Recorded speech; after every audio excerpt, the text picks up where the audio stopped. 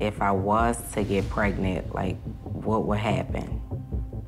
That's a great question. First of all, biggest risk is a preterm delivery and fetal growth restriction where the baby does not grow fully due mm. to the decreased room in the uterus and the fact that that fibroid is taking away some of that blood flow.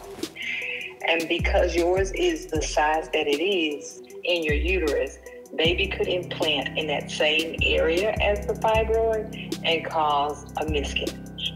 And women who have fibroids have a doubled risk.